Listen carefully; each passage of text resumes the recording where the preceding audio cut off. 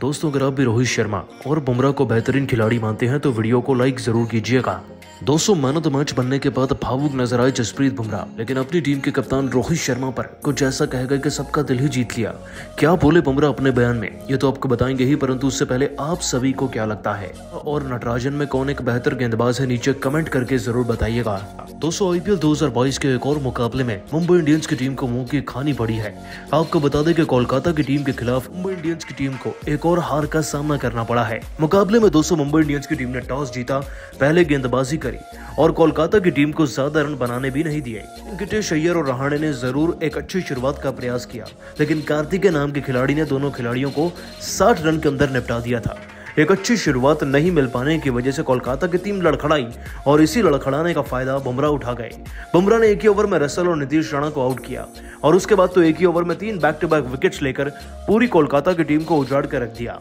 खैर, दोस्तों, कोलकाता की टीम ने एक सौ छियासठ का लक्ष्य पेश किया। लक्ष्य ज़्यादा बड़ा नहीं था, लेकिन मुंबई की फॉर्म को देखते हुए उनके लिए इस समय सौ रन का लक्ष्य भी 200 के बराबर है। दोस्तों, जिसका डर था वही हुआ। रोहित शर्मा मैदान में आए और आते ही आउट होकर चले गए। हालाँकि यहाँ पर कंट्रोवर्सी ये रही कि डीआरएस लेते वक्त देखा गया कि थर्ड अंपायर को साफ़ तौर पर नज़र आ रहा होगा कि रोहित शर्मा आउट नहीं है। उसके बावजूद दोस्तों रोहित शर्मा को आउट दिया गया। दोस्तों, इसी गलती के चलते अंपायर की रोहित शर्मा अपना विकेट गवा बैठे। आगे चलकर ईशान किशन ने पचासा ज़रूर लगाया। इक्यावन रन ज़रूर बनाए, लेकिन तिलक वर्मा कायरन पोलार्ड तक की टीम डेविड, मिलकर भी तीस से पैंतीस रन तक नहीं बना पाए थे।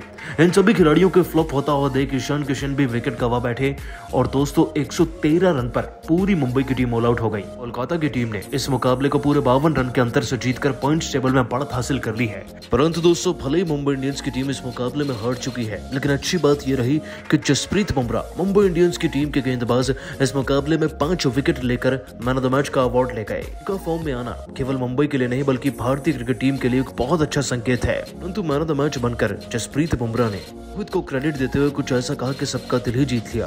क्या बोले बुमराह अपने बयान में? चलिए आपको बताते हैं। अपनी टीम के लिए अच्छी गेंदबाजी करके किसको खुशी नहीं होती? वाकई में बहुत ज़्यादा खुश हूँ, लेकिन मेरे लिए परफॉर्मेंस से ज़्यादा इस मोड पर टीम की जीत मायने रखती है। मुझे लगता है कि आज का मुकाबला हमारी मुट्ठी में था। फिर भी हमारी टीम मुकाबले को नहीं जीत पाई। हमारी परफॉर्मेंस वाकई में गिर चुकी है और हमें इस पर ध्यान देना होगा। क्योंकि मेरा माइंडसेट केवल एक मुकाबले में अच्छा करने पर नहीं होता।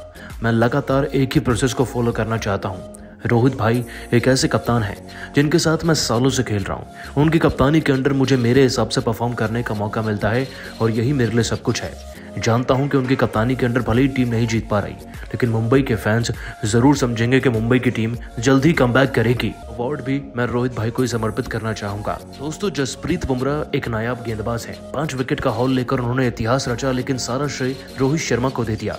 परंतु आप सभी को क्या लगता है, बुमराह और रोहित में से कौन एक बेहतर खिलाड़ी है और किसे मुंबई का कप्तान होना चाहिए? नीचे कमेंट करके ज़रूर बताइएगा।